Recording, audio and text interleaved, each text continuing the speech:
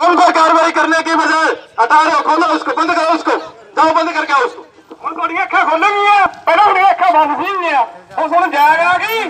15 ਦਿਨ ਹੋ ਗਏ ਸਾਡੇ ਮ- ਇਸ ਕੰਮ ਨੂੰ ਕਣਕ ਨੂੰ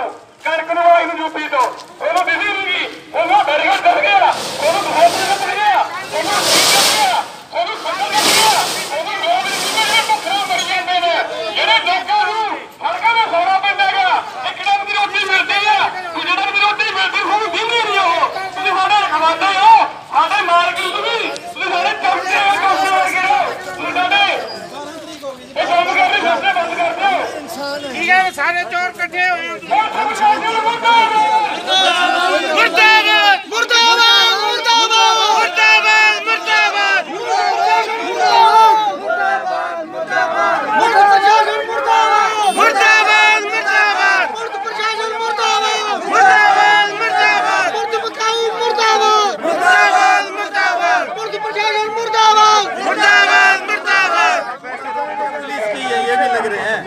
भी हटा दीजिए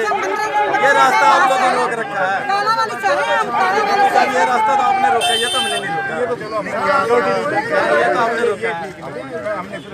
ठीक है कोई नहीं हटाओ ना भी चीज हटा दो ना एसडीएम ਨੂੰ ਹਟਾਓ ਨਾ ਜੀ ਤੁਸੀਂ। ਐਸਡੀਐਮ ਨੂੰ ਕੱਟੋ ਜਿਹੜਾ ਤੁਸੀਂ ਉਹਨੂੰ ਹਟਾ ਦਿਓ। ਹਟਾਓ ਨਾ ਜੀ ਹਟਾਓ ਨਾ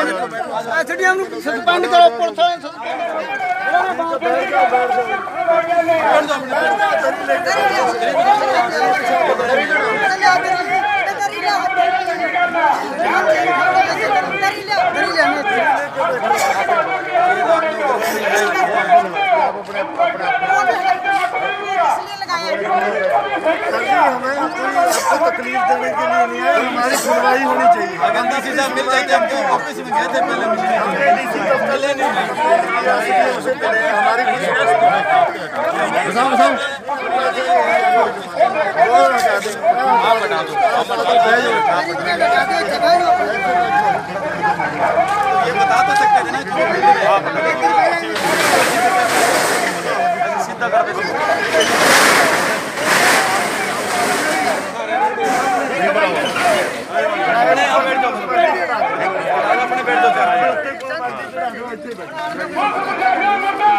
ਮੁਰਦਾਬਾਦ ਮੁਰਦਾਬਾਦ